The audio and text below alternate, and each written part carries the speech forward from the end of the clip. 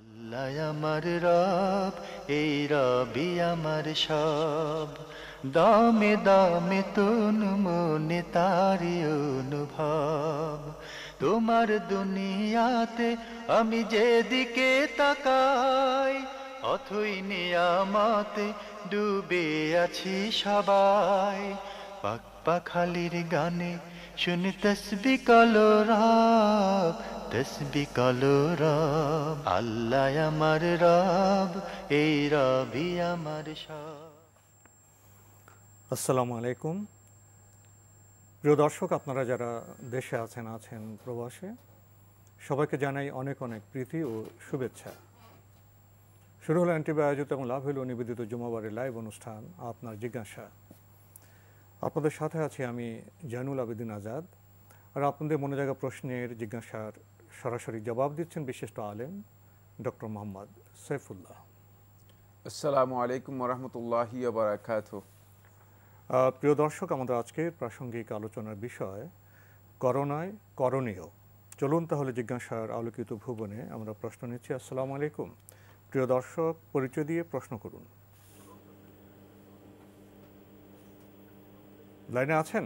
জি জি। পরিচয় দিয়ে প্রশ্ন করুন। আসসালামু আলাইকুম রহমতুল্লাহ। ওয়ালাইকুম আসসালাম রহমতুল্লাহ। জি জি।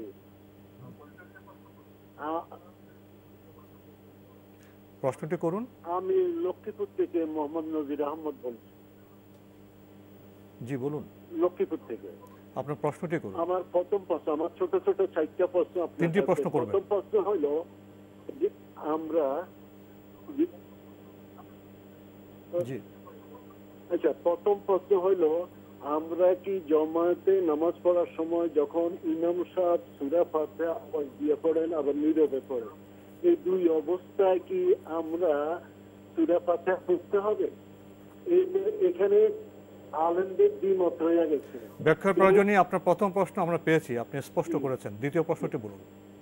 কেউ বলে সুরা ফাতিহা না পড়লে এই ব্যাপারে ব্যাখ্যা দরকার নেই। আপনার প্রশ্ন আমরা পেয়েছি আপনার দ্বিতীয় প্রশ্নটি আচ্ছা, করুন। দ্বিতীয় প্রশ্নটা হলো জি। দ্বিতীয় দ্বিতীয় প্রশ্ন হইল দ্বিতীয় প্রশ্ন হইল আমাদের আমাদের যে বোখারি শরীফ এবং আমাদের যে কোরআনের বাংলা অর- অর্থগুলাই যে কোরআনের মর্মবাণী এটা কি পড়তে হইলে আমাদের অজু থাকতে হবে? অজু ছুটি গেলে কি এটা পড়া যাবে? ধন্যবাদ আপনাকে। আর কোনো প্রশ্ন আছে? জি। জি বলুন। আর আর তৃতীয় প্রশ্ন তৃতীয় প্রশ্নটা হইল আমরা কি প্রত্যেক নামাজের নিয়তের পর প্রত্যেক নামাজের নিয়তের পর কি আমরা সানা পড়তে হবে? জি। ধন্যবাদ আপনাকে। আপনি খুব গুরুত্বপূর্ণ কয়েকটি প্রশ্ন করেছেন। প্রথম প্রশ্ন জামাতের নামাজে যারা মুক্তারি তাদের কি ফাতেহা পড়তে হবে? ভাই যে প্রশ্নটি করেছেন তিনি নিজে উল্লেখ করেছেন যে এই প্রশ্নের মধ্যে মানে আলেমদের দ্বিমত রয়েছে। একই কথাই সেটি হচ্ছে এই মাস আলার ক্ষেত্রে আলেমদের দ্বিমত রয়েছে। একদল ওলামাই কেরাম বলেছেন সুরে ফাতা পড়তেই হবে। আরেকদল ওলামাই কেরাম বলেছেন সুরে ফাতা পড়তে হবে না। কোনো বিষয়ে যদি আলেমদের দ্বিমত হয় বা ইজতিহাদের মধ্যে ইখতলাফ হয়, তাহলে এর বিধান কি? ফারুদ্দুহু ইলাল্লাহি ও রসুল ইনকুন্তুম তুমিনুনা বিল্লাহি ওয়াল ইয়াউমিল আখির। আল্লাহ সুবাহন তালা বলছেন, কোরআনী করিমের মধ্যে, সুরা আর নিসাইয়ের মধ্যে বলেছেন যে, ফারুদ্দুহু ইলাল্লাহি ও রসুল, তোমরা সেটাকে আল্লাহ এবং তার কাছে প্রত্যার্পণ করো, ফিরিয়ে নাও। ইন খুন্তুম তুমিনুনা বিল্লাহি ওয়াল ইয়াউমিল আখির, যদি তোমরা আল্লাহর প্রতি ইমান আনো এবং আখরাতের প্রতি ইমান আনো। তো আমরা যদি এটাকে আল্লাহ এবং তার রাসূলের কাছে ফিরিয়ে আনি, তাহলে দেখব আল্লাহ রাসূল সাল্লাহ আসলাম কী বলেছেন?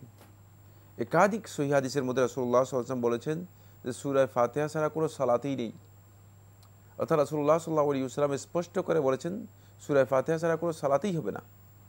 আর এই এগনিস্ট বা বিপরীতে যদি আমরা দেখি, আল্লাহ রাসুল সাল্লাহ আলী সাল্লাম থেকে একটি হাদিসও সাব্যস্ত হয়নি যে হাদিসের মধ্যে রাসুল্লাহ সাল্লাহ আসলাম কথা বলেছেন যে সলাতের মধ্যে সুরায় ফাতেহা পড়তে হবে না। এ ধরনের কোনো বক্তব্য রাসুল্লাহ আসলাম আসেনি।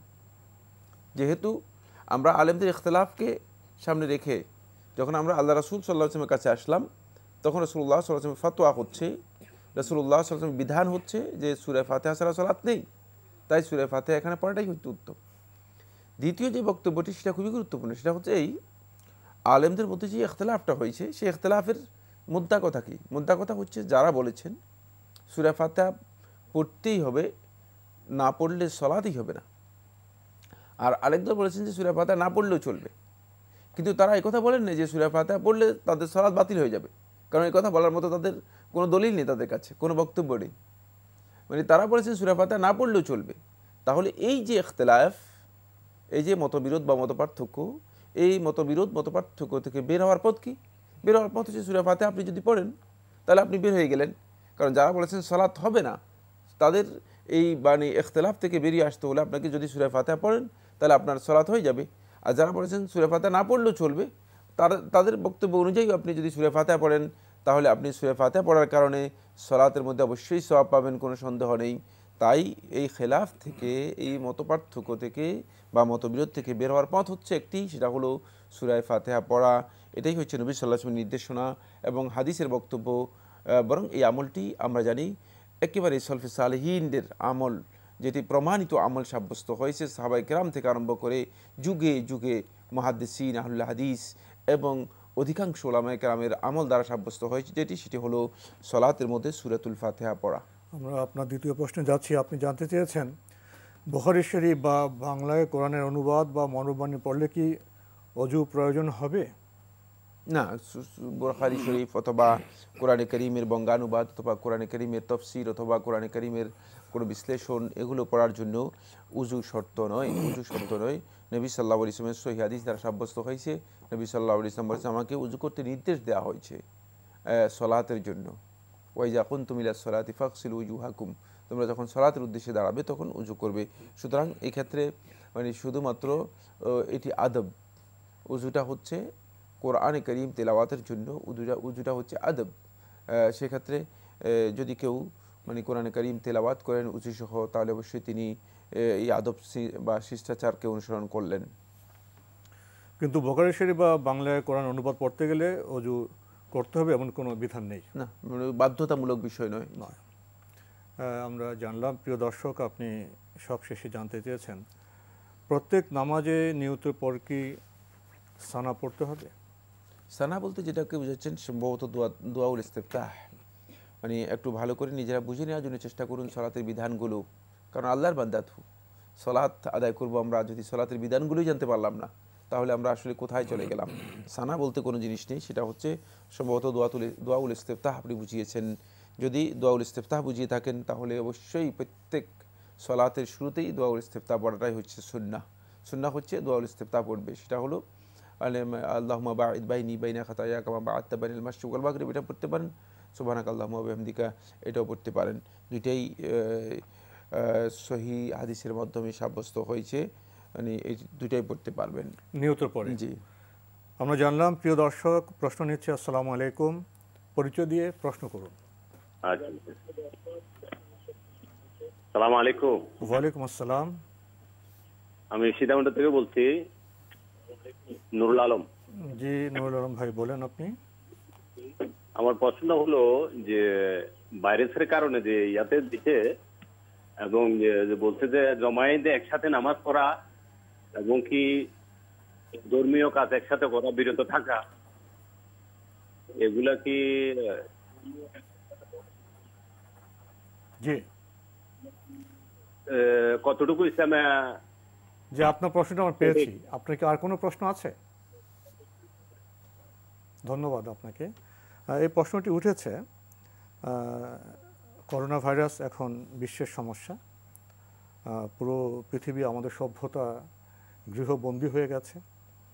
জীবন বাঁচার প্রয়োজনে বিশ্ব স্বাস্থ্য সংস্থা কথা বলছে, বিভিন্ন দেশের সরকার কথা বলছেন এবং আপনারা লক্ষ্য করেছেন যে মানুষকে মোটামুটিভাবে গৃহবন্দী থাকার ব্যবস্থা হচ্ছে।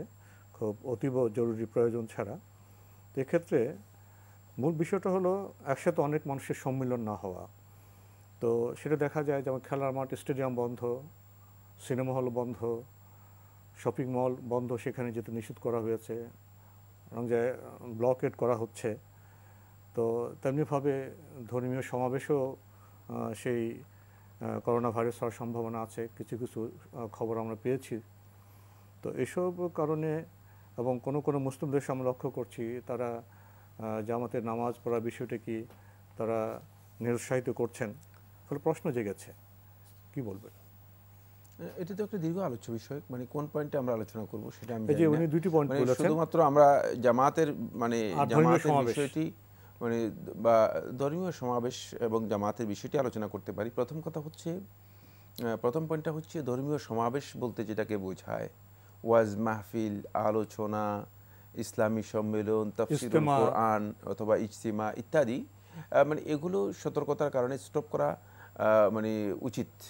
তার কারণ হচ্ছে যেহেতু বিশ্ব স্বাস্থ্য সংস্থা সহ ইন্টারন্যাশনাল যে সমস্ত স্বাস্থ্য ইনস্টিটিউট রয়েছে তাদের পরামর্শ হচ্ছে এই ধরনের সমাবেশ অথবা এই ধরনের সমাগমের মধ্যে সংক্রমণের। একটা আশঙ্কা থেকে যায় একটা আশঙ্কা থেকে যায়। ফলে এই ধরনের কাজগুলো মানে না করাটাই উত্তম। সেক্ষেত্রে এগুলোকে যত বেশি পরিহার করা যায় তত বেশি উত্তম। এটা সময়ের জন্য মানে, সাময়িক। এবং এটা সতর্কতার মধ্যে অন্তর্ভুক্ত কোনো সন্দেহ নেই। বাকি আর এটি বিষয়টি আমাদেরকে জানতে হবে যে এই ধরনের সমাবেশগুলো এটা ফরজ ওয়াজিব শরীয়তের কোনো বিধান নয়। মানে শরীয়তের মোস্তাহাব বিষয়ের মধ্যেও পড়ে না। কিন্তু এটি করতে গিয়ে যদি মানে ব্যাপকভাবে মুসলিম উম্মার ক্ষতি হয় অথবা ব্যাপকভাবে মুসলমানদের থাকে। ব্যাপকভাবে ক্ষতি হয়। অথবা এর মাধ্যমে মানে ভাইরাস আক্রান্ত হয়ে মানে জনপদে বড় ধরনের বিপর্যয় নেমে আসে এটা কিন্তু ভয়ঙ্কর বিষয়। সেক্ষেত্রে সতর্কতা অবলম্বন করা আমি মনে করে থাকি সংশ্লিষ্টদের জন্য ওয়াজিব। সতর্কতা অবলম্বন করা সংশ্লিষ্টদের জন্য ওয়াজিব। দ্বিতীয় যে মাস আলাটি সেটি হচ্ছে জামাত এবং জুমার বিষয়টি। জামাত এবং জুমার বিষয়টি সেক্ষেত্রে মানে কতটুকু সতর্কতা অবলম্বন করা যেতে পারে, কতটুকু কতটুকু সতর্কতা অবলম্বন করা করা মানে বৈধ? এই বিষয় নিয়ে প্রথম কথা হচ্ছে, যথাসম্ভব সতর্কতা অবলম্বন করা ওয়াজিব, যেটা আমাদের না করলেই নয়। সেখানে জুমা এবং জামাতকে সংক্ষিপ্ত করা যেতে পারে। জুমা এবং জামাতকে সংক্ষিপ্ত করা যেতে পারে। লোকেরা মানে সুন্নত সলাদগুলো মানে তাদের বাড়িঘরে আদায় করতে পারেন, শুধুমাত্র জামাতে অংশগ্রহণ করতে পারেন। এক নম্বর। দুই নম্বর সতর্কতা হচ্ছে যাদের হাসি, হাঁচি, কাশি এবং এই জাতীয় মানে অসুস্থতা আছে, তারা মসজিদে অংশগ্রহণ করবেন না। তাদের জন্য রোগসর দেওয়া যেতে পারে। তিন নম্বর যে বিষয়টি, সেটা হলো যথাসম্ভব মানে ইমাম সাহেবগণ জামাতের সাথে সাথেই লোকেরা যেন বাড়ি ঘরে চলে যায় এবং নিরাপদ মানে দূরত্ব বজায় রাখে, সেটা মানে লক্ষ্য করা যেতে পারে। এক্ষেত্রে সবাই প্রয়োজনীয় সতর্কতার জন্য মানে জীবাণুনাশক যে সমস্ত হেক্সিসল সহ যে সমস্ত জিনিস আছে সেগুলো ব্যবহার করতে পারে, এটি করা যেতে পারে। চার নম্বর একটি মাসালা এসেছে, সেই মাসালাটি হচ্ছে এর জন্য সতর্কতামূলকভাবে কি মসজিদে জামাত এবং জুমা বন্ধ করে দেওয়া যাবে? এই বিষয়টি নিয়ে সৌদি আরবের সর্বোচ্চ ওলামা পরিষদের গত আমরা জানি যে সতেরোই মার্চ এ বিষয়ে সর্বোচ্চ ওলামা পরিষদের বৈঠক হয়েছে এবং সতেরোই মার্চ এ বিষয় নিয়ে দীর্ঘ আলোচনা করার পর তারা সতর্কতার কারণে এবং আন্তর্জাতিক যেই একটা পরিস্থিতি বা বিপর্যয়ের একটা আশঙ্কা রয়ে গিয়েছে সেই বিষয়কে সামনে রেখে মানে তারা এই বৈধতার কথা উল্লেখ করেছেন যে প্রয়োজনে মানে একটা সাময়িক একটা মানে অবস্থার জন্য, পরিস্থিতির জন্য জুমা এবং জামাত স্টপ করা যেতে পারে। সেক্ষেত্রে শুধুমাত্র বাইতুল্লাহ, মসজিদে হারাম এবং মসজিদ নবী সাল্লাহ আলী সাল্লাম সলাতের জন্য ওপেন থাকবে। আর বাকি অন্য মসজিদগুলোর ব্যাপারে তাদের দৃষ্টিভঙ্গি হচ্ছে সেটা বন্ধ করা যেতে পারে। ইতিমধ্যে আমরা জানতে পেরেছি মানে কুয়েত সহ বিভিন্ন দেশেও ওলামায় কারাম এই বিষয়ে বসেছেন মিশরে ওলামায় কারাম বসেছেন এই বিষয় নিয়ে আলোচনা করেছেন। তাদের ম- মোদ্দা কথা হচ্ছে যেটা সেটা হলো সতর্কতা অবলম্বন করা সর্বোচ্চ। সতর্কতার ক্ষেত্রে একটা কথাই গুরুত্বপূর্ণ, সেটা হচ্ছে এই যদি আমরা জামাত এবং জুমা আদায় করতে পারি এবং সেটা যদি সংক্ষিপ্ত করতে পারি, তাহলে সেটা আমাদের জন্য উত্তম কোনো সন্দেহ নেই। তবে এক্ষেত্রে যারা অসুস্থতা ফিল করে থাকেন, উচিত হচ্ছে তাদের অংশগ্রহণ না করা। যেহেতু সই বোখারি ও মুসলিম হাদিসের মধ্যে রসুল্লাহ সাল্লাম এখানে স্পষ্ট দিক নির্দেশনা দিয়েছেন। সেটা বলেছেন, লা ইউরিদু মুমরিদুন আলা মুসাহ। যাকে জীবাণু আক্রান্ত করেছে অথবা অসুস্থতা যাকে আক্রান্ত করেছে, ভাইরাস আক্রান্ত করেছে মানে সে যে সুস্থ আছে মানে তার কাছে আগমন করবে না। তাকে তার কাছে নিয়ে আসা হবে না। কারণ হলো এটা মানে যদি মানে সংক্রমণের প্রক্রিয়া যদিও সরাসরি না থাকে কিন্তু বিভিন্ন মাধ্যমে সংক্রমণের সম্ভাবনা রয়ে। গিয়েছে সম্ভাবনা রয়ে গেছে এই জন্য আল্লাহ নবী সাল্লাহ আলী ইসলাম সতর্কতামূলক এই নির্দেশনা দিয়েছেন। সেক্ষেত্রে আমরা বলব যে এই সমস্ত বন্ধুগণ দূরে থাকার জন্য চেষ্টা করবেন। এখানে সংশ্লিষ্ট সকলেরই দায়িত্ব রয়েছে। আমাদের ব্যক্তিগত দায়িত্ব রয়েছে অনেক বেশি। প্রিয় দর্শক আপনার লক্ষ্য করেছেন ডক্টর মোহাম্মদ সাইফুল্লাহ পর্যায়ক্রমে বিভিন্ন পর্যায়ে কি কি করণীয় সে ব্যাপারে বিস্তৃত আলোচনা করেছেন। আমরা বোধহয় এখান থেকে একটি পথ নির্দেশিকা পেতে পারি। প্রশ্ন নিচ্ছি আসসালামু আলাইকুম। প্রিয় দর্শক পরিচয় দিয়ে প্রশ্ন করুন। মাহাবুল আলম খিলকা থেকে। জি ভাইয়া বলুন। আমি চেষ্টা করি পাঁচ নামাজ মসজিদে পড়ার জন্য। এখন ঢাকার সমস্ত মসজিদগুলা এসিতে। জি। এসি এসির মাঝে নামাজ পড়লে আমার খুবই সমস্যা হয়। কিন্তু আমি বারান্দায় নামাজ পড়ি পারব কিনা? আর ভিতরে নামাজ পড়তে যে আমি একবার মানে এসির ইয়েতে আমি অজ্ঞান হয়ে গেছিলাম এর আগে। না আপনি কি বারান্দায় নামাজ পড়তে যাচ্ছেন? হ্যাঁ বারান্দায় নামাজ পড়তেছে মাঝখানে অনেক গ্যাপ থাকে। না সেক্ষেত্রে আপনি আপনি কি একা কি না আরও লোক থাকে আপনার সাথে? হ্যাঁ অনেকে দু একজন থাকে আবার অনেক সময় দু একজন থাকে। জি জি। আমার আমার যাদের সমস্যা এবং অনেক অনেকেই বলে আপনাদের নামাজ হবে না। এই কথাটা মানে আমরা নামাজ পড়ছি এই অবস্থায় আমাদের কাছে স্পষ্ট হয়েছে। আর কোনো প্রশ্ন আছে? না এটাই আমার মানে জামাতের মানে এই খুবই আপনার প্রশ্ন আমি পেয়েছি খুবই গুরুত্বপূর্ণ প্রশ্ন পেয়েছেন জি প্রশ্ন পেয়েছি। ভাইয়ের এসির সমস্যা রয়েছে তিনি জামাতে সলাত আদায় করে থাকেন কিন্তু বারান্দায় সলাত হবে কিনা? অবশ্যই সলাত হয়ে যাবে। সেক্ষেত্রে যদি আপনি ইমাম সাহেবের ইক্তেদা করতে পারেন ইবনু কোদামা মাকদিসি রহিমউল্লাহ তাআলা তার মুগনিতে উল্লেখ করেছেন যে যদি ইমামের ইক্তেদা বৈধ হয় সেটা হলো সুফুফ মানে যে সমস্ত পিছনের শাড়িগুলো আছে সেগুলো যদি সরাসরি আপনি দেখতে পান আর সেগুলোকে অনুসরণ করতে পারেন তাহলেই আপনার জামাতে অংশগ্রহণ করা এবং ইক্তেদা বৈধ হয়ে যাবে। এক্ষেত্রে আপনার সলাতও হয়ে যাবে। আর যেহেতু আপনি ওজরের কথা উল্লেখ করেছেন ওজরের জন্য ইসলামী শরীয়তের মধ্যে অবশ্যই উন্মুক্ত বিধান রয়েছে। সেখানে প্রশস্ততা রয়েছে অবকাশ রয়েছে। সে অবকাশ হচ্ছে যদি কোনো ব্যক্তির ওজোর থাকে তাহলে তার জন্য তিনি সেই ওজোর আলোকে যতটুকু তার জন্য মানে সম্ভব। পসিবল তার আদায় করা সম্ভব ততটুকু তিনি আদায় করবেন। তাহলে এক্ষেত্রে যদি মাঝে একটু ফাঁক থাকে কোনো অসুবিধা না নেই। এতে কোনো অসুবিধা এবং উনি যদি দুই তিনজন থাকে তো উত্তম একা হলেও পড়তে পারবেন না। একা হলেও তিনি ইক্তেদা করতে পারবেন। যদি তিনি সামনের যে সব রয়েছে সেই সব দেখতে পারেন। দেখতে পান আমরা জানলাম খুবই গুরুত্বপূর্ণ বসে বিষয়ে প্রিয় দর্শক। প্রশ্ন নিচ্ছে আসসালামু আলাইকুম। পরিচয় দিয়ে প্রশ্ন করুন। হ্যালো। লাইনে আছেন? লাইনে থাকলে আপনার পরিচয় দিয়ে প্রশ্ন করুন। হ্যাঁ আমার নাম এস এম মুজিবুর রহমান পূর্ব রংপুরা জামতলা থেকে বলছি। জি ভাইয়া বলুন। হ্যাঁ বলছি যে যদি কেউ অসুস্থ অসুস্থ ব্যক্তি চেয়ারে চেয়ারে বসে নামাজ পড়ে কিন্তু দাঁড়াই পড়ে অর্ধেক দাঁড়াই পড়ে অর্ধেক বসে পড়ে এটা কি ঠিক আছে এটা? জি জি ধন্যবাদ আপনাকে। আর কোনো প্রশ্ন আছে? না আর কোনো প্রশ্ন নাই। ধন্যবাদ। পেয়েছেন তো প্রশ্ন? যে প্রশ্ন পেয়েছি। তিনি বলেছেন অসুস্থ ব্যক্তি তিনি অর্ধেক দাঁড়িয়ে পড়েন অর্ধেক চেয়ারে বসে পড়েন। তার অসুস্থতা কী সেটা উল্লেখ করেননি। যদি তিনি বসতে সিজদা দিতে অথবা মাটিতে বসতে অক্ষম হন, তাহলে তার জন্য চেয়ারে বসে সলাত আদায় করা বৈধ। সেক্ষেত্রে তিনি যে যতটুকু সম্ভব ততটুকু তিনি আদায় করবেন, আর যেটা সম্ভব নয় সেটা যেভাবে সম্ভব সেভাবে আদায় করবেন। কিন্তু খেয়াল রাখতে হবে যে মানে তার মাটিতে সিজদা দেওয়ার সক্ষমতা আছে কিনা। যদি সিজদা দেওয়ার মতো তার সামর্থ্য না থাকে, তাহলে তার জন্য চেয়ারে বসে বাকি অংশটুকু কমপ্লিট করা জায়েজ রয়েছে বৈধ। আজকের প্রাসঙ্গিক আলোচনার বিষয় করোনায় করণীয়। এ বিষয়ে কিছু বলবেন? ধন্যবাদ। খুবই গুরুত্বপূর্ণ একটি বিষয়। আসলে ইতিমধ্যে আমরা জানতে পেরেছি যে সারা পৃথিবীতেই করোনা ভাইরাস নিয়ে দীর্ঘ আলোচনা পর্যালোচনা সমালোচনা এবং অনেক কিছু দেখা দিচ্ছে।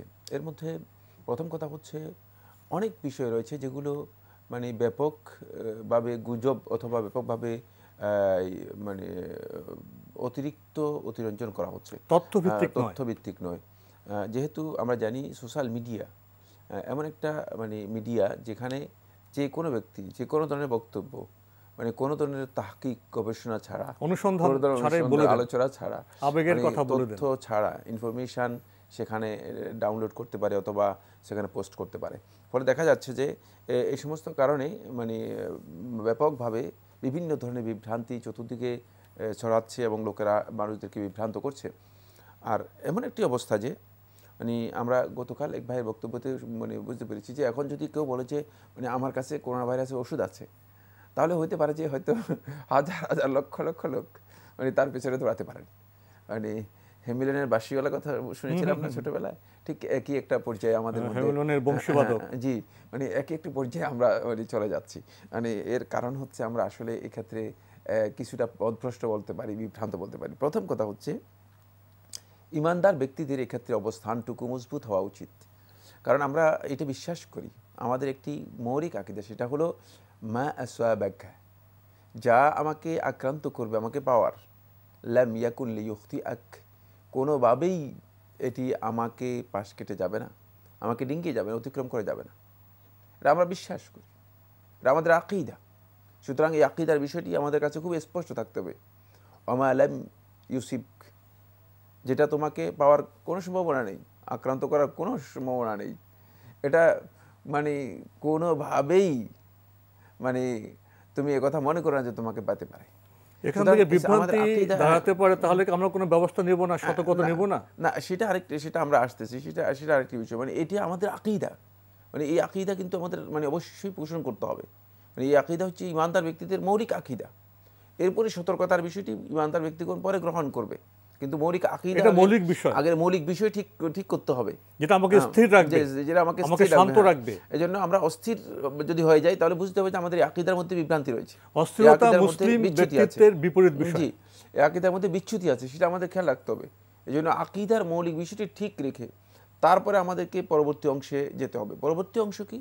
পরবর্তী অংশ হচ্ছে এই যে আমরা মানে এই কথা বিশ্বাস করি যে বস্তু কোনো না কোনোভাবে মানুষকে কি করতে পারে? মানে বিভিন্ন দিক থেকে মানুষের ক্ষতির কারণ হতে পারে। সেটি মানুষের আচরণগত কারণে, মানুষের সমস্যার কারণে। সেক্ষেত্রে ইসলামী শরীয়তের বিধান হচ্ছে সতর্কতা অবলম্বন করা। রসুল্লাহ সাল্লাহ আলী ভাইরাসের ব্যাপারে মানে রসুল্লাহ সাল্লামের সময় তাউন একটি ভাইরাস ছিল, বড় ধরনের মৌরিক ভাইরাস, যেটা প্লেগ রোগ হিসেবে আখ্যায়িত মানে বা কেউ কেউ পরিচয় করেছেন। আবার কেউ কেউ বলেছেন তাউন বলতে আল্লাহ নবী সাল্লাহ ইসলাম কমন যত মানে মহামারী আছে সবগুলোকে বুঝিয়েছেন। মানে সকল প্রকার মহামারীকে বুঝিয়েছেন। আল্লাহ নবী সাল্লাহ আসলাম সাহাবাই কেরামদেরকে এই ব্যাপারে সতর্ক করেছেন এবং বলেছেন সেখানে যে পদ্ধতি সেটা হচ্ছে এই, যখন ইজা সামে তুমুত্তাউন আবি আরদিন ফালা তাকদামু আলাইহ, যখন তোমরা কোনো ভূখণ্ডে তাউনের কথা শুনতে পাবে, তোমরা সেখানে যাবে না। মহামারীর কথা হ্যাঁ, শুনতে পেলে। না, মহামারীর কথা শুনতে যাবে না সেখানে। আর যদি তোমরা সেখানে থাকো তাহলে সেখান থেকে তোমরা বেরিয়ে আসবে না। এটি আমাদের জন্য খুবই গুরুত্বপূর্ণ নির্দেশনা। কোয়ারেন্টাইন হ্যাঁ, ওখানে তোমরা থেকে যাও। থেকে যাও। ফলে দেখা গিয়েছে যে এটা কিন্তু এই নির্দেশনা আমরা অনুসরণ করছি না। আমরা মহামারী আক্রান্ত এলাকা থেকে বেরিয়ে চলে আসতেছি। এসে সুস্থ যারা আছে তাদের মধ্যে আমরা নিজেরা। মানে প্রবেশ করতেছি। তো এটা আমাদের কিন্তু ভুল ভুল ভুল রাসূলুল্লাহ আসলামের নির্দেশনা থেকে ভুল একটা মানে কাজ আমরা করে যাচ্ছি। আমরা এখানে সতর্কতা অবলম্বন করতে পারি। সেই সতর্কতা হচ্ছে আমরা কোনোভাবেই এখানে যাব না। আর বর্তমান মানে এটাও প্রমাণ করেছে যে বিভিন্ন ধরনের সতর্কতার জন্য মৌলিকভাবে যদি আল্লাহর বান্দাগণ সকল দিক থেকে মানে তাদের পরিচ্ছন্নতার বিষয়গুলোকে নিয়মিত করেন। যেমন নিয়মিত তারা মানে সকল সময় উজু করা। যেমন আমরা দেখতে পাই রসুল্লাহ সাল্লাহামের হাজারটা সতর্কতা কী ছিল? আল্লাহ নবী সাল্লাহ আলী সাল্লাম কখনো কখনো নবী সাল্লাহ আলী ইসলাম ঘর থেকে বের হওয়ার সময় নবী সাল্লাহ আলী ইসলাম যখন মসজিদে যেতেন, উজু করে যেতেন। আবার নবী সাল্লাহ যখন ঘরে আসতেন মা আয়সা যেহেতু বর্ণনা করতেছেন নবী সাল্লাহ ইসলাম সোয়াক করতেন কখনো কখনো উজু করতেন। নবী সাল্লাহ আলী এই এক্ষেত্রে আমরা সতর্কতা অবলম্বন করতে পারি। যা মেডিকেল সায়েন্স থেকে বর্তমান বলা হচ্ছে যে মানে যদি আমরা উজু করি এবং আমরা হাত ধোয়ার মানে হাত ধোয়ার অভ্যাস করি তাহলে দেখা যাবে যে মানে এই ধরনের কাজ থেকে আমরা সম্ভাবনা সংক্রমণ থেকে বিরত থাকব। আরেকটি বিষয় অত্যন্ত গুরুত্বপূর্ণ সেটা হচ্ছে এই দেখা যায় যে যেমন মুসাফা করা মুআনাকা করা এগুলো বর্জন করা যেতে পারে। কারণ এগুলো আদাতে তাদের সাথে সম্পৃক্ত বিষয়। ইসলামী শরীয়তের মধ্যে এটা একবারে ফরজ ওয়াজিব কিছু আমাদের তো সালামটা হলো আমাদের হ্যাঁ, কর্তব্য। হ্যাঁ, শুধুমাত্র আসসালামু আলাইকুম সালামের মুখে বলার বিষয়। সালামের পদ্ধতি হচ্ছে মুখের মাধ্যমে। সেক্ষেত্রে সালামের পদ্ধতি অনুসরণ করা যেতে পারে। একেবারে বাধ্যতামূলক হ্যান্ডশেক আমরা করমর্দন পরিহার করতে পারি, হ্যাঁ, তারপরে বুক মিলানো হ্যাঁ, পরিহার করতে হ্যাঁ, পারি। মহানাকা এগুলো এগুলো বর্জন করা যেতে পারে। যদি আমরা মনে করে থাকি যে এগুলোর মধ্যে সতর্কতা রয়েছে। তবে এক্ষেত্রে আল্লাহ নবী সাল্লাহ আলী সাল্লাম যে বিষয়গুলো অত্যন্ত গুরুত্ব দিয়ে নির্দেশনা দিয়েছেন সেগুলো আমাদেরকে একটু ভালো করে বোঝা দরকার। নবী সাল্লাহ ইসলামের প্রথম যে উপদেশ সেটা হচ্ছে যখনই কোনো বালা মুসিবত বিপদ আপদ আসবে তখন নবী সাল্লাহ আলী সাল্লাম যে কাজটি করতেন সেটা হলো আল্লাহ রাব্বুল আলমিনের কাছে ধৈর্য এবং সলাতের মাধ্যমে আশ্রয় মানে সাহায্য কামনা করতেন। আমরা চেষ্টা করব মানে যথাসম্ভব ধৈর্য ধারণ করা অস্থির না হওয়া এবং সলাতের মাধ্যমে সাহায্য কামনা করা আল্লাহ রাব্বুল এ বিষয়ে ইনশাল্লাহ আমরা আরও কিছু কথা বলার চেষ্টা করব সামনে। আমরা প্রশ্ন নিচ্ছি। প্রিয় দর্শক আসসালামু আলাইকুম। পরিচয় দিয়ে প্রশ্ন করুন। জি আমি মোহাম্মদ জাকারিয়া খুলনা থেকে বলছিলাম। জি ভাইয়া বলুন। আমার একটা প্রশ্ন হচ্ছে যে আমরা তো অফিসে কর্পোরেট লেভেল এখন জব করি। দেখা যায় যে অফিসে সব কমর তো কমরে পেশাব করতে গেলে আমরা দাঁড়িয়ে পেশাব করি আবার পরে উজু করে নামাজও পড়ি। তো এই অবস্থায় কি আমাদের নামাজটা হবে? জি। ধন্যবাদ আপনাকে। পেয়েছেন তো প্রশ্ন? না প্রশ্ন পাইনি উনি। আচ্ছা মানে ওনার প্রশ্ন করলেন? ওনারা যে জব করেন সেখানে কমরের ব্যবস্থা তো ফলে ওনারা দাঁড়িয়ে পেশাব করেন। দাঁড়িয়ে পেশাব করার পরে ওনারা যদি অজু করে নামাজ পড়েন সেই নামাজ কি হবে? উজু করলে আপনার চলাত হইতে কোনো অসুবিধা নেই। ওই যে কমরে দাঁড়িয়ে পেশাব করলেন দাঁড়িয়ে পেশাব করার মাসআলা আর উজুর সাথে কোনো সম্পর্ক নেই। আপনি যদি উজু করে থাকেন তাহলে আপনার উজু হয়ে গিয়েছে আপনার সলাতও হয়ে যাবে। কিন্তু দাঁড়িয়ে পেশাব করা কেন? মানে এর প্রয়োজনীয়তা এখানে আছে বলে আমার জানা নেই। এরকম- বসেও তো আপনি মানে পেশাব করতে বসার অবস্থা থাকে না এত নোংরা তো কমন ব্যবহার হয় সেটা আরেকটা মাসালা কিন্তু উনি তো মানে সমস্যা হলে- যদি এমন সমস্যা হয় যে বসার মতো মানে পরিস্থিতি নেই। আমার মনে হয় না অফিসে কর্পোরেট অফিসের মধ্যে এই ধরনের অবস্থা থাকতে পারে। যাই হোক। তাহলে প্রথমত আমরা জানলাম আপনার বক্তব্য থেকে যে বসে পেশাব পায়খানা করা যায় হ্যাঁ, জায়েজ তারপর যদি সেখানে বসে পেশাব পায়খানা মৌলিক প্রয়োজন সারতে হবে কোনো কারণে যে ব্যবহার অনুপযোগী হয়ে যায় সে তো জরুরি সে তো একটা ব্যবহারে অনুপযোগী অনুপযোগী হয়ে গেলে সেখানে মানে ব্যবহার করবেই না। কারণ হচ্ছে তাহলে তো সে অস্বাস্থ্যকর ক্ষতিকর। অবশ্যই। প্রয়োজন হয় তখন তো সেখানে বাধ্য হয়ে দাঁড়িয়েও করা যেতে পারে। জি জি। যদি কেউ দাঁড়িয়ে করেন সেটা ওজনের কারণে করতে পারবেন। তবে নবী সাল্লাহ আসলামের হাদিয়ের পরিপন্থী স্বাভাবিক বিষয় নয়। নবী সাল্লাহ আলী ইসলাম ওমরুল খত্তাব রাজি আল্লাহ তালকে এভাবে বলেছেন যে লা তাবুল কাইমা দাঁড়িয়ে পেশাব করবে না। এটা নবী সাল্লামের হাদিয়ের পরিপন্থী। তো সে পরিস্থিতিতে আপনি অজু করে নামাজ পড়লে আমরা জানলাম আপনার নামাজ হয়ে যাবে। আমরা প্রশ্ন নিচ্ছি আসসালামু আলাইকুম। প্রিয় দর্শক পরিচয় দিয়ে প্রশ্ন করুন। ঠিক আছে ঠিক আছে। লাইনে আছেন কেউ? হ্যাঁ জি জি লাইনে আছে। যে আপনার পরিচয় দিয়ে প্রশ্ন করুন। ও আমি কাজী বাদল নাজুর থেকে বলছি। জি ভাইয়া বলুন। হ্যাঁ ওই এই করোনার কারণে আমি ওই যে মসজিদে জামাতে না যে ওই বাসায়েই আমি এবং আমার ছেলে আমরা দুইজনে জামাত করি। জামাত জামাত করি আর কি। এটা কতটুক সঠিক? মানে আমার নামাজটা হয় কিনা ধন্যবাদ আপনাকে। হ্যাঁ। পেয়েছেন তো প্রশ্ন। জি যে ওজোর কথা আপনি বলেছেন সেই ওজোরের কারণে যদি আপনি বাসায় সালাত আদায় করে থাকেন অধিকাংশ ওলামাই কেরামের মধ্যে আপনার সালাত হয়ে যাবে। আমরা জানলাম প্রিয় দর্শক প্রশ্ন নিচ্ছি আসসালামু আলাইকুম। পরিচয় দিয়ে প্রশ্ন করুন। ইসলাম আলাইকুম। আমার নাম হচ্ছে মোহাম্মদ আশরাফুল ইসলাম নাকালপাড়া থেকে বলছি। জি। আমি একটু জিনিস জানতে চাচ্ছি যদি কোনো কারণে আমি কোরআন শরীফ পড়তে আরবি পড়তে না পারি এবং বাংলা অর্থটা যদি পড়ি তাহলে কি আমার কি মানে আমি কি বেনিফিটটা পাবো কিনা? কি পাবেন? মানে কোরআন পড়ার যে বেনিফিটটা সেটা কি পাবো সবটা না। ধন্যবাদ আপনাকে। পেয়েছেন তো প্রশ্ন? তিনি বলতে চেয়েছেন যেটা উনি বলতে চেয়েছেন উনি যদি কোনো কারণে কোরআন আরবিতে পড়তে না পারেন এবং যদি বাংলায় কোরআন উচ্চারণে পড়েন বা যে অর্থ পড়েন তাতে কি কোরআন পড়ার সব পাবেন? বাংলা তিলাওয়াতের মাধ্যমে অথবা বাংলা পড়ার মাধ্যমে এটি কোরআন একাডেমির তিলাওয়াত সাব্যস্ত হবে না। এই যে সবাবের কথা রয়েছে সেই সব পাবেন না। তবে মানে কোরআন করিম যদি আপনি বোঝার জন্য চেষ্টা করেন তাহলে হয়তো কিছু সব পেতে পারেন। কিন্তু কোরআন করিম তেলাওয়াতের যে ফজিলত রয়েছে সেই ফজিলতটুকু আপনি পাবেন না এর মাধ্যমে। আমরা জানলাম প্রিয় দর্শক। এখানে প্রশ্ন জাগে ভাই আমরা অনেক কাজ করি অনেক কিছু মুখস্থ করি। পবিত্র কোরআন আরবি ভাষা শেখার কাজটা কি খুব কঠিন? আপনি নিজেকে নিয়ে একটু ভাবুন না একটু আত্মসমালোচনা করুন হয়তো আল্লাহ আপনাকে পথ দেখিয়ে দিবেন। কোরআন জানার কাজটা খুব কঠিন নয়। আমরা প্রশ্ন নিচ্ছি আসসালামু আলাইকুম। পরিচয় দিয়ে প্রশ্ন করুন। ওয়ালাইকুম আসসালাম আমি বদরুল নাহার ঢাকা থেকে বলছি। জি বলুন। আমার তিনটে প্রশ্ন। একটা হচ্ছে যে আমরা তিন বোন আমার আম্মা বেঁচে আছেন বাবা মারা গেছেন আর আট বছর আগে। তা আমরা তিন বোনেরই বিয়ে হয়ে গেছে। এখন আমাদের আম্মার প্রতি আমাদের দায়িত্বটা কি? সেটা হলো এক নম্বর। দুই নম্বর হচ্ছে যে আমার আব্বার কিছু ঋণ ছিল কিন্তু আমার চাচারা আমাদের কোনো সম্পত্তি আমাদেরকে দেয় নাই এখনও পর্যন্ত। তো আমাদের স্বামীদেরও সেরকম ইয়ে নেই যে আমরা এগুলা পরিশোধ করব। এখন এক্ষেত্রে আমরা কি করতে পারি? আমার আব্বার তো একটু কষ্ট হচ্ছে আমি যতটুকু জানি। আপনার কার দেন? যে বাবা বাবার দেনা? মানে সম্পত্তির কোনো অংশই আমাদেরকে দেয় নাই। আপনি কার দেনা পরিশোধের কথা বলছেন? আমার আব্বার আমার আব্বার। জি জি জি জি। আপনার এখন প্রশ্নটি কি? এখন প্রশ্নটি হচ্ছে যে আমরা যে চাচা আমাদের সম্পত্তি দিচ্ছে না আমার আব্বা যে মারা গেল ঋণ রেখে এখন আমার আব্বার কষ্ট হচ্ছে কিনা? এই যে ঋণগুলো আমরা আদায় করতে পারতেছি না। জি আর কোনো প্রশ্ন আছে আপনার? হ্যাঁ হ্যাঁ আমার আর মেয়ে সন্তানের ছেলে না থাকে মেয়ে সন্তানদের বাবা মার প্রতি কর্তব্য কি?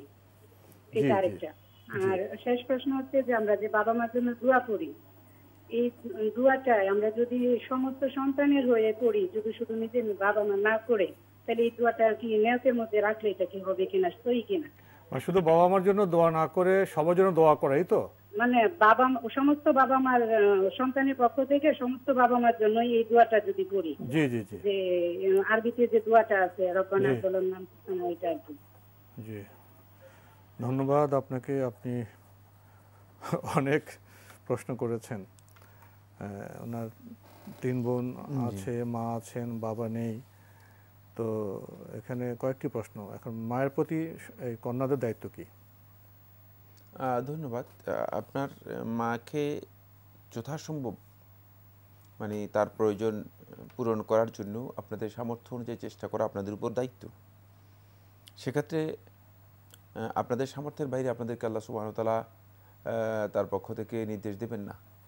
মানে আল্লাহর পক্ষ থেকে এই হুকুম চাপিয়ে দেবেন না যে আপনাদের সামর্থ্যের বাইরে আপনারা চেষ্টা করবেন।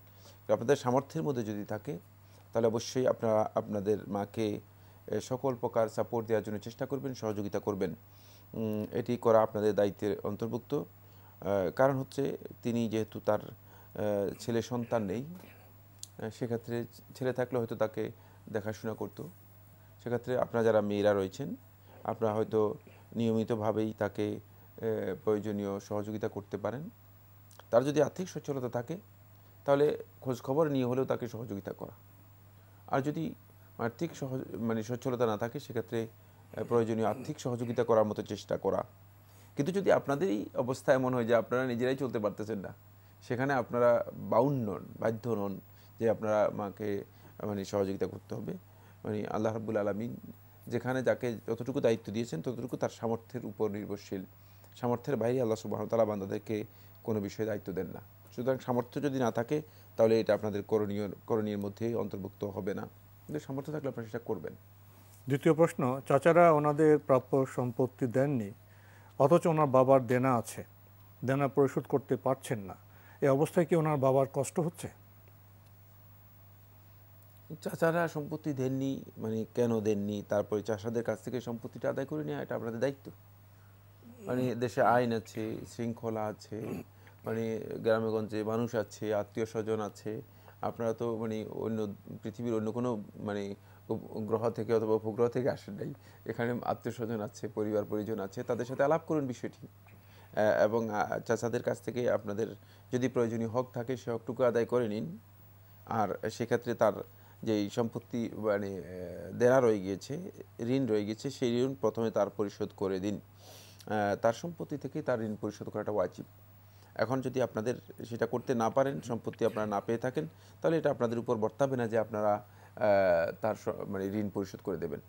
কিন্তু যদি আপনাদের আর্থিক, আপনি অবশ্যই বলেছেন যে আর্থিক সচ্ছলতা নেই, তা আপনাদের আর্থিক সচ্ছলতা যদি না থাকে, তাহলে সেক্ষেত্রে আপনাদের উপর বাধ্যতামূলক বিষয় নয় যে আপনারা আপনার পিতার যে ঋণ আছে অথবা দেনা আছে সেটা পরিশোধ করবেন। এক্ষেত্রে যদি আপনাদের সেই সুযোগ থাকে তাহলে আপনারা হয়তো আপনার পিতার দেনা পরিশোধ করে পিতাকে আপনি দায়মুক্ত করতে পারেন সেটা আপনাদের জন্য বৈধ হতো যদি আপনাদের সেই সা- সচ্ছলতা থাকতো আর্থিক সামর্থ্য থাকতো। চাচারা ওনাদের প্রাপ্য দিচ্ছেন না বলে ঋণ শোধ করতে পারছেন না। এই অবস্থায় কি চাচারা দায় দায়িত্ব আছে? আর বাবা কি কষ্ট পাচ্ছেন মৃত অবস্থায়? কষ্টের প্রশ্নই আসে না। তিনি যদি ঋণ করে থাকেন যদি সঙ্গত কারণে এবং ঋণ পরিশোধ করার যদি তার ইচ্ছা থাকে তাহলে তিনি এর জন্য কষ্ট পাবেন না। কিন্তু যদি তিনি ঋণ করে থাকেন অন্য কোনো উদ্দেশ্যে কারণ ঋণের অনেক প্রক্রিয়া রয়েছে। মানে ঋণ করা করে থাকে অনেকেই মানে আসলে একটা প্রক্রিয়া মানে মানুষের টাকা অন্যায়ভাবে বক্ষণ করা। নিয়ত প্রশ্ন চলে হ্যাঁ, আসে সেক্ষেত্রে যদি এই উদ্দেশ্য হয় তাকে ঋণ করার যে আল্লাহ না করুক মানে যে উদ্দেশ্য থাকে এই মানে যে বিভিন্ন জন থেকে ঋণ করে অনেক টাকা ঋণ করে অনেকে দেখা যায় যে তার সামর্থ্য নেই আর্থিক। কিন্তু সে ঋণ করে। উদ্দেশ্য হচ্ছে মানে অনেকজন থেকে টাকা নিবে একটা মানে এমন একটা অবস্থা তৈরি করবে। পরবর্তী সময় যখন জিজ্ঞেস করবে, বলে, আমার কাছে ভাই কিছুই নেই, আমি কিছু দিতে পারব না। এই ধরনের উদ্দেশ্য হলে তাহলে অবশ্যই তিনি গুণাকার হবেন এবং তার জন্য কঠিন শাস্তিও হবে। বাকি যদি তিনি আসলে সঙ্গত কারণে ঋণ করে থাকেন এবং ইচ্ছা ছিল ঋণ পরিশোধ করার, সামর্থ্যের কারণে পরিশোধ করতে পারেন নাই অথবা মৃত্যুর মানে কারণে তিনি পরিশোধ করতে পারেন নাই। সেক্ষেত্রে তিনি কষ্ট পাবেন, এটা বিশ্বাস করার কোনো সুযোগ নেই। আল্লাহ সুবাহতাল আল্লাহ বান্দাদের অন্তরগুলো দেখেন। ওলা কি নিয়ঞ্জুর ইলাকুলু বিকুম তিনি তোমাদের অন্তরগুলোর দিকে দেখেন। আল্লাহ রাবুল আলমিনের দৃষ্টি বান্দার অন্তরের দিকে যে বান্দা আসলে কেন এই কাজটি করেছে? যদি সে কাজটি বান্দার সত্যিকার নিহত হয়ে থাকে যে ঋণ উদ্দেশ্য এই নয় যে মানুষের টাকা নিয়ে মানুষদেরকে মানে আত্মসাৎ করবে এবং মানুষদেরকে একটা বড় ধরনের বিপদের মধ্যে ফেলে দিবে, তাহলে সেক্ষেত্রে হয়তো আল্লাহ সুবাহতাল্লাহ বান্দাকে ক্ষমা করে দিতে পারেন এবং সেটা পরিশোধ করে দিতে পারেন। আমরা আরেকটি প্রশ্নে যাব তো আরেকটি প্রশ্ন রয়ে গেছে, সেটা হলো বাবা মার জন্য আমরা যে দোয়াটা করে থাকি, সেটা কি সব বাবা মার জন্য করা যাবে? এটা আমি বুঝিনি কি বলতে চাচ্ছেন আপনি মানে বাবা মার জন্য আমরা দোয়া করি না? জি জি। তো সেই দোয়াটা কি ওনার বাবা মার সাথে আর সব বাবা মাকে যুক্ত করতে পারবেন? না মুসলিম উম্মার জন্য সকলের জন্য দোয়া করা জায়েজ রয়েছে কিন্তু নিজের পিতামাতার যখন জন্য কোনো ব্যক্তি দোয়া করবে তখন নিজের পিতামাতার কথা নির্দিষ্ট করে নির্দিষ্ট করেই উল্লেখ করবে। এরপরে সমস্ত পিতামাতা, সমস্ত উম্মার জন্য দোয়া করে। সন্তানদের জন্য মানে উত্তম হচ্ছে যেটা সেটা হলো নিজের পিতামাতার জন্য ওটা নির্দিষ্ট করে দোয়া করা। এরপর আমরা সবার জন্য দোয়া করতে পারব প্রিয় দর্শক প্রশ্ন নিচ্ছি আসসালামু আলাইকুম। পরিচয় দিয়ে প্রশ্ন করুন। জি ওয়ালাইকুম আসসালাম। জি আমার কয়েকটি ছোট ছোট প্রশ্ন আছে সেটা হচ্ছে হ্যালো? জি শুনতে পাচ্ছি। জি একটা হচ্ছে আমরা যে ছোট দরুদটা যেটা আল্লাহুম্মা সাল্লি ওয়া সাল্লিম আলা নবিয়িনা মুহাম্মাদ এটা যে পড়ি এটার পরে কি আবার আলাদাভাবে সাল্লাল্লাহু আলাইহি ওয়াসাল্লাম পড়তে হবে? এটা একটা প্রশ্ন। আরেকটা প্রশ্ন হচ্ছে আমি আগে কোরআন শিখেছিলাম ছোটবেলায় পরে, পরবর্তীতে আবার নুরানি পদ্ধতিতেও শিখেছি। কিন্তু আমরা যখন শিখেছিলাম জের জবর সহজ শিখেছি। কিন্তু এখন ইদানিং অনেক বই দেখি, বই পড়তে চাইলেও পড়তে একটু সমস্যা হয় সেখানে দেখি জের জগৎ থাকে না। মানে এটা কেন বা এটার ইয়াটা বুঝি না যে জের জগৎ ছাড়া কীভাবে পড়ব? এটা একটা প্রশ্ন। আর আরেকটা প্রশ্ন হচ্ছে, আমাদের এলাকায় গ্র- গ্রামেগঞ্জে দেখি অনেক অনেক ইয়াং কিছু মহিলা, ভিক্ষুক। মানে ওরা আসে, অথচ ওরা খুব ইয়াং। হ্যাঁ তো এখন ওনাদেরকে কি কোনো ভিক্ষা দিলে কি সমস্যা হবে বা ওদেরকে ইয়া দেওয়ার মাসালাটা কি? ওটা বুঝি না। ঠিক একই জিনিস আবার আরেকটু অন্য টাইপের সেটা হচ্ছে গিয়ে টা- মানে শহরের দিকে গেলে দেখা যায় যে অনেক পাঞ্জাবি পরে অনেক মানে ভদ্রলোক ওনারা মসজিদের হয়ে টাকা চাইতে আসে। কিন্তু মসজিদ সেটা তো আমি জানা মতো অনেকেই এটার দান সহকার তো অবশ্যই করবে, কিন্তু ওনারা এমন ভাবে চায়, এটা কীভাবে মানে ইয়া হয় আমি ওটা জানতে চাচ্ছি আর কি। ধন্যবাদ। আপনাকে আপনি অনেকগুলো প্রশ্ন করেছেন। প্রথম প্রশ্ন ছোট দরুদ পড়ার পর কি তার সাথে সাল্লাহ আলী ওসাল্লাম যোগ করতে হবে? না সাল্লাহ আলী সাল্লাম পড়ার প্রয়োজন নেই। যে এই দৌড়টি আপনি বলেছেন সেখানেই আল্লাহ মসাল্লি ওসাল্লিম এখানে তো মানে দৌদ এবং সালাম দুটোই রয়ে গিয়েছে। সুতরাং দ্বিতীয় বারাবার সাল্লাহ আলী ইসলাম বলার প্রয়োজন নেই। জি। ওনার আরেকটি প্রশ্ন নুরানি পদ্ধতিতে কোরআন শিখেছেন আবার অনেক জায়গায় দেখেন এখন যার জবর থাকে না এটা কেমন? তাহলে কীভাবে পড়বেন? কি মানে কি বুঝাতে কোরআন পড়তে গিয়ে উনি একটি পদ্ধতি শিখেছেন নুরানি পদ্ধতিতে। ওনার এখানে মূল প্রশ্নটি হলো অনেক জায়গা থেকে কোরআন পড়তে গিয়ে দেখেন আরবিতে সেখানে যার জবর থাকে না। যার জবর না থাকলে যে জবতা থাকে। উনি উনি একটা উনি ওনার প্রশ্নটা উনি মানে অনেক জায়গায় দেখা যায় যার জবর থাকে না। না থাকলে কীভাবে পড়বেন? জের জবর না থাকলেও আপনি কোরআনে কারিম যদি পড়ার অভ্যাস হয় তাহলে আপনি পড়তে পারবেন। বাকি মানে যদি আরবি ভাষার জ্ঞান থাকে মানে তাহলে আরবি ভাষার জ্ঞান থাকলে আপনি জের জবর প্রয়োজন হয় না। কারণ আমরা মানে আরবি পড়ি জ্ঞান নেই তো নেই বলে প্রশ্ন করতে আমরা যার জবর স্যার শরীফ পড়ব না হ্যাঁ, ভুল করতে যাবে কেন? তাহলে সেক্ষেত্রে যদি আপনি মানে দেখেন আর যে জবর না থাকে আপনি যদি পড়তে না পারেন তাহলে আপনার জন্য উত্তম হচ্ছে না পড়া। কারণ আপনি ভুল পড়ে ফেলবেন। উত্তম হচ্ছে না পড়া। আর যদি আপনি দেখেন যে না আমি আপনার কমন মনে হচ্ছে যে আপনি পড়তে পারবেন তাহলে আপনি পড়তে পারেন। তবে কোরআন করিমের এখন বর্তমান যে সমস্ত টেক্সটগুলো রয়েছে সবগুলোতেই জের জবর দেওয়া রয়েছে সবগুলোতেই জের জবর দেওয়া রয়েছে যেহেতু মানে কোরআনের মানে টেক্সটগুলো খুবই পরিচিত এবং যেখানেই আসে সেখানেই এগুলো জের জবর সহ আসে যাতে করে লোকেরা পড়তে পারে এই জন্য জের জবর দেওয়া রয়েছে শুধু আরবি টেক্সটগুলোতে এখন জের জবর ব্যবহার করা হয় না। বোন যেখানে আমাদের সক্ষমতা নেই আমরা সেখানে যাব কেন? যদি জেয়ার জবরসের আমরা পড়তে না পারি অধিকাংশ আমরা পড়তে পারব না। তো আমরা সেখানে ভুল পড়ার সম্ভাবনা থাকলে সেখানে যাব না। যেখানে জেয়ার জবর আছে সেটা আমরা পড়ব, সহজ বিষয়। আপনি আরও প্রশ্ন করেছেন, এখন ভিক্ষুকদের নিয়ে আপনার একটি সমস্যা আছে। আপনি দেখেছেন আপনাদের এলাকায় কিছু ইয়াং ভিক্ষুক আছে। তাদেরকে ভিক্ষা দেওয়া যাবে কি না দিলে সোয়া হবে কি না আবার দেখা যায় শহরে পাঞ্জাবি পড়া দেখা যায় বেশ ভদ্রলোকে মনে হয়, তারাও কিছু চায়। তাদেরকেও দেওয়া যাবে কি না ইয়াং সুস্থ, সবল, যদি মনে হয় যে মানে সে কাজ করার মতো সক্ষমতা আছে, তাকে ভিক্ষা দেওয়া যায় নেই রসুল্লাহ সাল্লাম সুস্পষ্ট হাদিসের মাধ্যমে নিষেধ করে দিয়েছেন। তার জন্য ভিক্ষাবৃত্তি করাও যায় নেই, তাকে ভিক্ষা দেওয়াও যায় নেই। এখন ইয়াং দেখলেই তো আপনি কীভাবে বুঝবেন? হতে পারে যে দেখতে আপনার কাছে মনে হচ্ছে ইয়াং তার কোনো সমস্যা রয়ে গেছে, তাকে জিজ্ঞেস করা যেতে পারে। মানে বিষয়টি ক্লারিফাই করার জন্য জিজ্ঞেস করা যেতে পারে যে, ভাই, আপনার সমস্যা কি? হতে পারে যে তার দুইটা কিডনি ড্যামেজ হয়ে গেছে। অথবা সে কাজই পাচ্ছে না। হ্যাঁ, হতে পারে যে সে মানে মানে দীর্ঘদিন থেকে বেকার চেষ্টা করছে কিন্তু কোনো কাজ পাচ্ছে না। যদি মানে তার বাস্তবতা মানে এমন প্রমাণ করে যে তার জন্য ভিক্ষাবৃত্তি করা বৈধ তাহলে তাকে দেওয়া জায়জ রয়েছে। তাকে দেওয়া যায় সে পেশাদার ভিক্ষুক এটা পেশা নয়।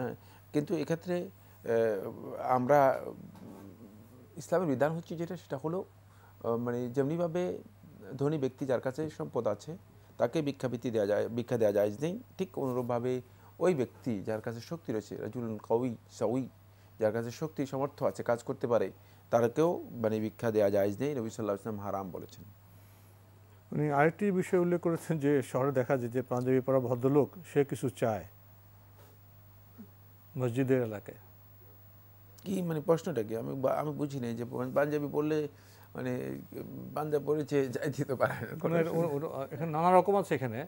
যেমন অনেকে মসজিদের জন্য টাকা চায়। ভদ্রলোক পাঞ্জাবি পরে মসজিদের জন্য টাকা চায়। মসজিদের দান বাক্স মসজিদের জন্য টাকা দিন মসজিদ নির্মাণের জন্য টাকা দিন। এই কথাটা আপনি ভালো বলেছেন। সেটা এখন বুঝতে পেরেছি আমি বিষয়টি। ঠিকই বলেছেন খুবই গুরুত্বপূর্ণ বিষয়। সেটা হলো অনেককে দেখা যায়। মানে মসজিদের জন্য অথবা মাদ্রাসার জন্য এতিমখানার জন্য বিভিন্ন ধরনের কৌশলে কালেকশন করে থাকেন।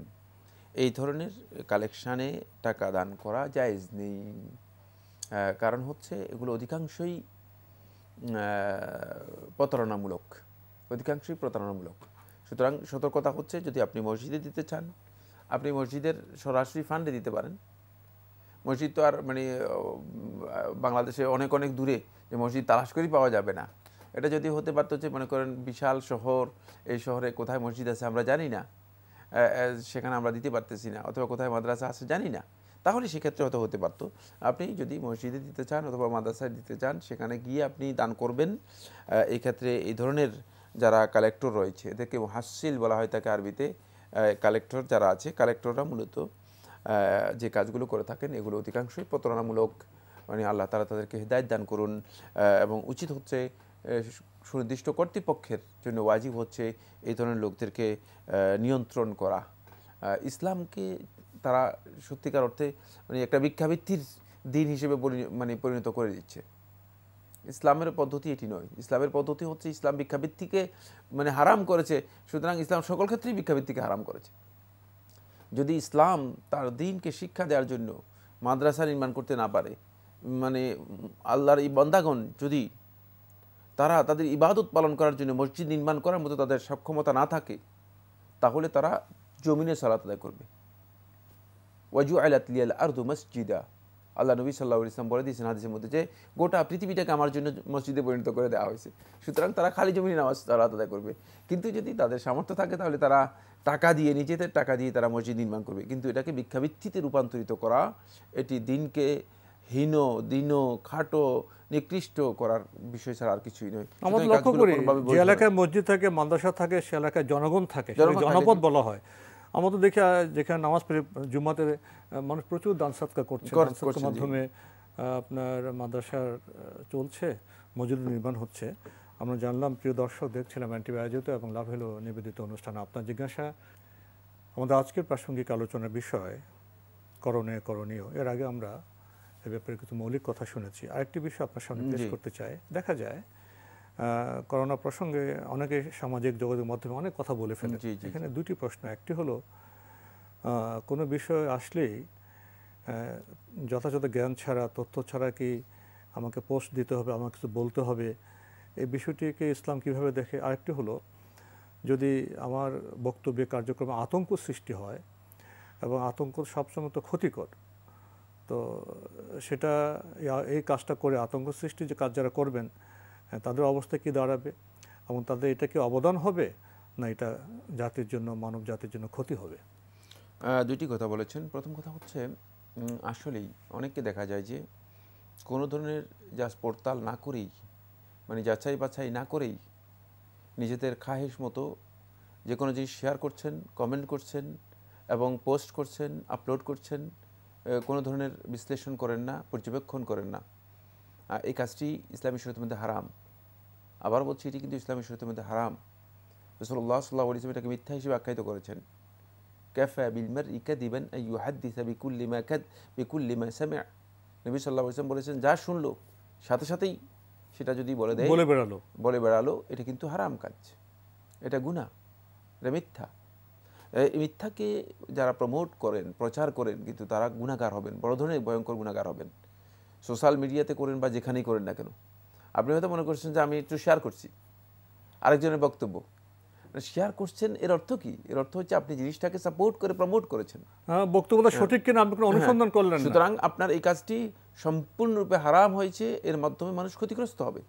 একটা মিথ্যা ব্যাপকভাবে সমাজের মধ্যে মানুষের মধ্যে মানব সভ্যতাকে বিপর্যয়ের দিকে ঠেলে নিতে পারে। মানে একটি মিথ্যাই যথেষ্ট, একটা বড় ধরনের হত্যাকাণ্ড হয়ে যাওয়ার জন্য, একটা বড় ধরনের বিপর্যয় নেমে আসার জন্য, সমাজের মধ্যে অর্থনৈতিক মানে বড় ধরনের কত ক্ষতি হয়ে যাওয়ার জন্য। সুতরাং এই ধরনের মিথ্যা কাজ যে সমস্ত বন্ধুগণ করছেন, সেগুলো এই ভাইরাস কেন্দ্রিক এই সমস্ত কাজ করবেন না। এটা হলো প্রথম যে বিষয়টি আলোচনা করেছেন। দ্বিতীয় যে বিষয়টি, সেটা হচ্ছে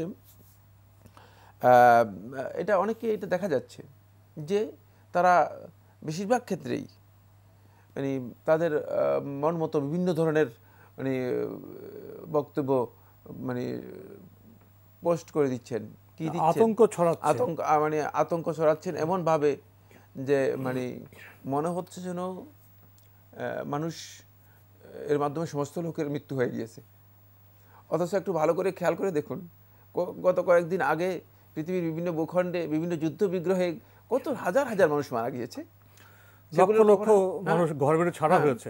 কত লক্ষ লক্ষ মানুষ বাড়িঘর থেকে মানে একেবারে উদ্ভাস্ত হয়ে আজকে মানে কি জীবন যাপন করতেছে কীভাবে? সাগরে যাচ্ছে এখানে এখানে এই পর্যন্ত আমরা গত এটা হলো এগারো তারিখ সম্ভবত মানে বুধবার পর্যন্ত এই যে পরিসংখ্যান এসেছে আন্তর্জাতিক বিশ্ব সংস্থার যে পরিসংখ্যান পরিসংখ্যানে বলা হয়েছে সর্ব মানে শেষ পরিসংখ্যান অনুযায়ী চুরানব্বই হাজার লোক আক্রান্ত হয়েছে।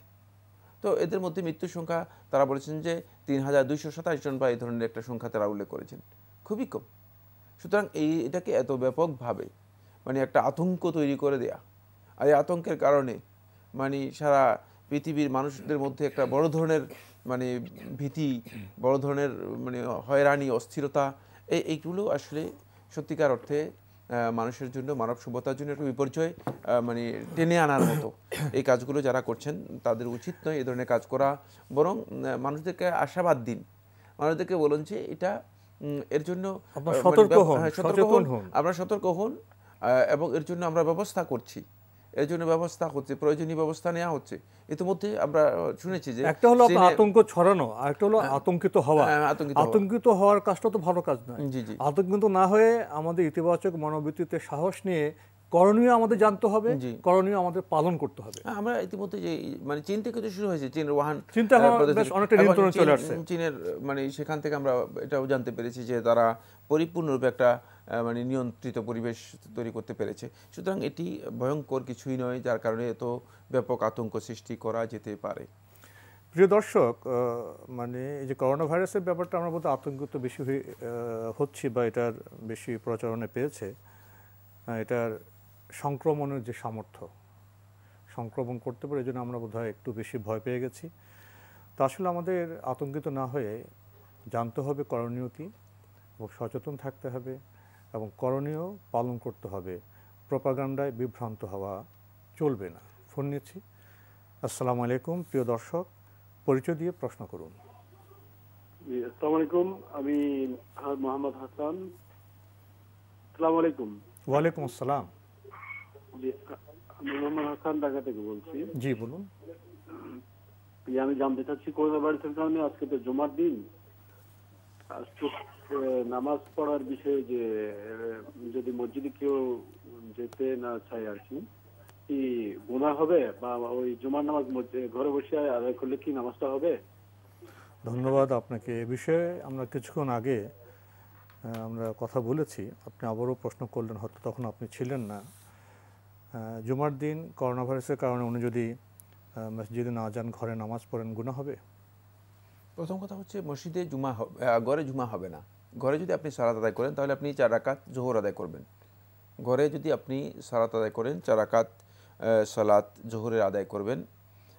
আর মসজিদে যদি আপনার যাওয়ার ব্যাপারে কোনো মানে আপনার কাছে মনে হয় যে নিজের কাছে কমফোর্ট ফিল হচ্ছে না সেক্ষেত্রে আপনার জন্য নাজাইজ আপনি ঘরেও সালাত আদায় করতে পারবেন। যেহেতু এই ধরনের একটি পরিবেশের কারণে এটা ওলামায়ে একটা কেরাম- সাময়িক সময়। আহ, ওলামায়ে কেরাম আহ, সামান্য সময়ের জন্য এটাকে রুখসত মনে করেছেন। তবে আমার মনে হচ্ছে প্রেক্ষাপট এত বাধ্যত বাধ্য করে না আমাদেরকে যে একেবারেই ঘরেই বসে সালাত আদায় করতে হবে। আপনি শুধু সালাতের সময়টুকু সতর্কতা অবলম্বন করে প্রয়োজনীয় সতর্কতা অবলম্বন করে আপনি দুই রাকাত সালাত মসজিদে গিয়ে আদায় করবেন শুধু দুই রাকাত সালাত। পড়ে চলে আসা। হ্যাঁ, তারপরে চলে ঘরে পড়লে তো সময় আমাদের অনেক কম যায়। সেটা আপনার বিবেচনার বিষয়ে আমরা জানলাম। প্রিয় দর্শক প্রশ্ন নিচ্ছি আসসালামু আলাইকুম। পরিচয় দিয়ে প্রশ্ন করুন। আমি টাঙ্গাল থেকে ময়না বলছিলাম। জি বলুন। আমার দুইটা প্রশ্ন। একটা প্রশ্ন হচ্ছে কি আমি একজনের কাছে বাইশ লক্ষ টাকা পাই। তার এখন বর্তমানে দেওয়ার মতো সামর্থ্য নাই। কিন্তু সে বলে আমি আপনার টাকাটা পরিশোধ করব। এখন এই মুহূর্তে কি আমি সেই টাকাটার টাকা দেবো কিনা? আর দ্বিতীয় প্রশ্ন হচ্ছে আমি আবার আমার মেয়ে ছেলেদের মধ্যে করে রুকু সেজা দেই। পর্দা যেটুকু মেয়েদের করার দরকার ওভাবেই করি কিন্তু রুকু সেজাটা ছেলেদের মতো করে দেই তাতে কি নামাজ হবে কিনা? আর ধন্যবাদ। তিন নম্বর প্রশ্ন হচ্ছে আমার খুব সর্দির সমস্যা ঠান্ডা জাতীয় সমস্যা আমার। এখন এই ঠান্ডার সময় আমি যখন সেজদা দিই তখন নাক না মুছলে বা নাক ঝাঁকি না দিলে আমি সেটা দিতে পারি না। তখন কি আমি নাক মুছতে পারব কিনা? ধন্যবাদ আপনাকে। আপনি খুবই গুরুত্বপূর্ণ প্রশ্ন করেছেন। আপনি বাইশ লক্ষ টাকা একজন থেকে পান। তিনি এখন দিতে পারছেন না তার সামর্থ্য নেই বলছেন ভবিষ্যতে দেবেন। এই অবস্থায় ওই টাকা জাকাত কি ওনাকে দিতে হবে? না এই টাকা জাকাত আপনাকে দিতে হবে না। এই টাকার যখন আপনি টাকাটা গ্রহণ করবেন তখন আপনি এই টাকার জাকাত আদায় করবেন যদি আপনার গ্রহণ করার পর থেকে এক বছর আপনার কাছে থাকে। তাহলে আপনি এই টাকার জাকাত আদায় করবেন। আরও প্রশ্ন করেছেন উনি নামাজে রুকুশেজদা ছেলেদের মতো করে থাকেন এতে কি ওনার নামাজ হবে? নামাজ হয়ে যাবে নামাজে সি- রুকু এবং সিজদা করলেই সলাৎ হয়ে যাবে। সুতরাং ছেলেদের মতো করার মধ্যে কোনো ধরনের মানে গর্হিত বিষয় নেই। বরং রুকু এবং সিজদা নারীদের জন্য ছেলেদের মতো করাই হচ্ছে বিধান। নবী সাল্লাহ ইসলামের হাদিস দ্বারা প্রমাণিত হয়েছে। ওনার শেষ প্রশ্ন ওনার সর্দির সমস্যা আছে।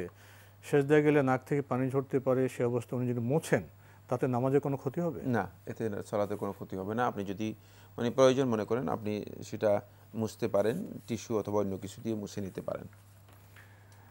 প্রিয় দর্শক সময়ের কারণে আমরা আজকে আর প্রশ্ন নিতে পারছি না। তবে আপনাদের অবগতির জন্য জানাতে পারি আপনার জিজ্ঞাসা অনুষ্ঠানটি সপ্তাহে রবি সোম মঙ্গল বুধ এই চার দিন বিকেল সাড়ে পাঁচটা সম্প্রচার হয়ে থাকে। ওইসব অনুষ্ঠানে আপনাদের মনে জায়গা প্রশ্ন চিঠির মাধ্যমে, ইমেলের মাধ্যমে পাঠাতে পারেন আমাদের ঠিকানা। পরিচালক আপনার জিজ্ঞাসা এনটিভি, বিএসএসসি ভবন, সপ্তম তলা একশো দুই কাজী নজরুল ইসলাম অ্যাভিনিউ, কারওয়ান বাজার, ঢাকা বারোশো পনেরো। ইমেল অ্যাড্রেস আপনার জিজ্ঞাসা at NTV BD dot com. আপনারা আমাদের অনুষ্ঠান এনটিভি অনলাইনেও দেখতে পারবেন। ভিজিট করুন W W W dot NTV BD dot com, এছাড়া ইউটিউবে এবং আমাদের ভেরিফাইড ফেসবুক পেজে অনুষ্ঠান দেখতে পারবেন। প্রিয় দর্শক, সবশেষে রয়েছে গ্রন্থ পরিচিতি। আমাদের আজকের গ্রন্থের নাম নবীজি সাল্লাহ আলহি ওয়াসাল্লাম, যেমন ছিলেন তিনি। এই গ্রন্থটির মূল লেখক শেখ ডক্টর আইজ আল কার্নি।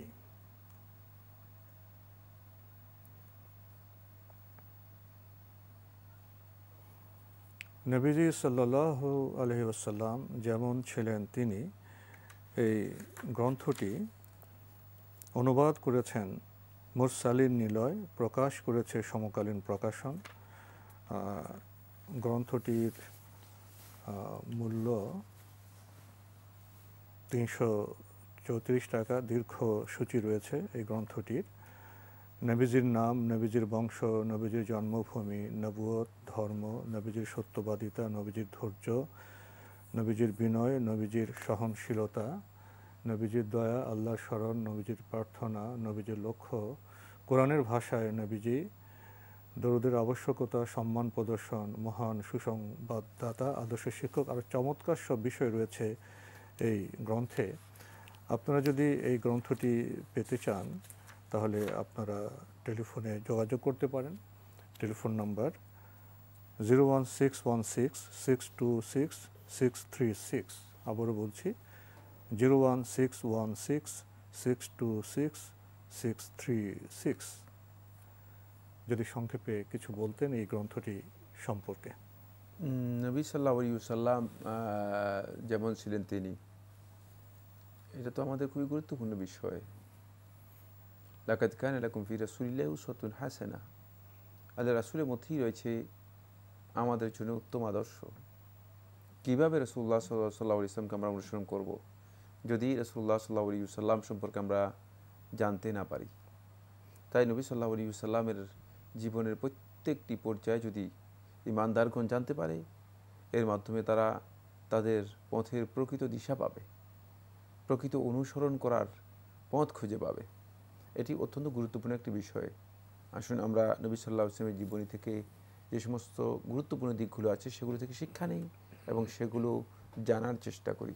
এটি আমাদের সাথে থাকা উচিত। তো আজকে আমাদের এখানে শেষ করতে হচ্ছে। আপনাকে অনেক ধন্যবাদ। আপনাকে অশেষ ধন্যবাদ।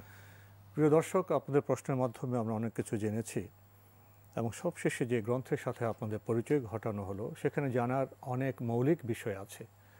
নবীজিকে না জানলেও তো আমরা কিছুই জানলাম না। তাকে উপলব্ধি না করলে তো আমাদের মননে কিছুই প্রবেশ করল না। আসুন আমরা জানি এবং উম্মত হিসেবে তাকে অনুসরণের চেষ্টা করি। দেখাবে ইনশাল্লাহ আগামী জুমাবার একই সময়ে। প্রিয় দর্শক, মহান আল্লাহ, আমাদের সবাইকে নিরাপদে রাখুন রাখুন শান্তিতে। আসসালামু আলাইকুম।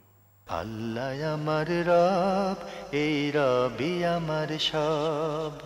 দামে দামে তুন মনে তারি অনুভব। আল্লাহ আমার রব, এই রবি আমার সব। Mm-hmm.